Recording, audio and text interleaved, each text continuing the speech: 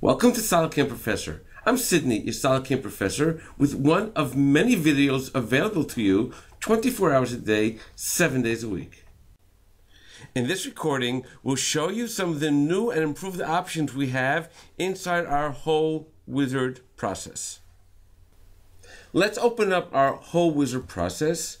And the first thing you'll note is that we can now see the descriptions next to each one of the processes. You can also see that we have more boxes underneath so we can add more and we'll see that in a few moments.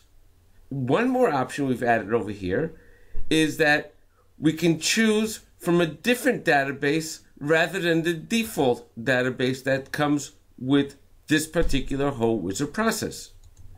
Also, we've added one more feature of a pin to hold the defined Hole Wizard data box open.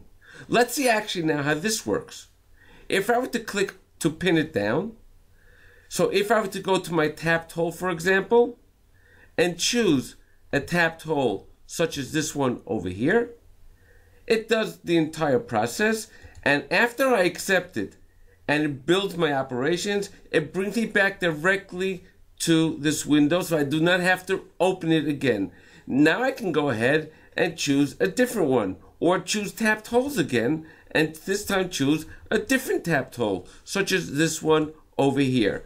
Accept that and again it'll bid the processes and again bring me back to this window. If I don't need this window open anymore, all I do is close it. Now let's close this to go to our SolidCAM Hole Wizard machining process. You'll note we have now a tab that'll take us directly to the Hole Wizard processes. So let's open up the process itself and I'm going to choose one of the processes that I have here. What you'll note is as follows. We've added the option over here of being able to add another one, copy, and move any of these up and down in the order that I'd like to have them. You'll also note for each one of these process, we've also added a type. It can be either a counter bore, counter sink, simple holes, and tapped holes. Now, let's just take one of these, for example, and I'd like to make a copy. Click on copy, and we have a new process added over here, which is a copy of the old one. I can rename it. For example, I write tapped holes for aluminum and I'll save and exit. Now when I reopen my part and go into Hole Wizard process, you'll see that I have now a fifth one. And this, of course, could have been edited inside my process itself.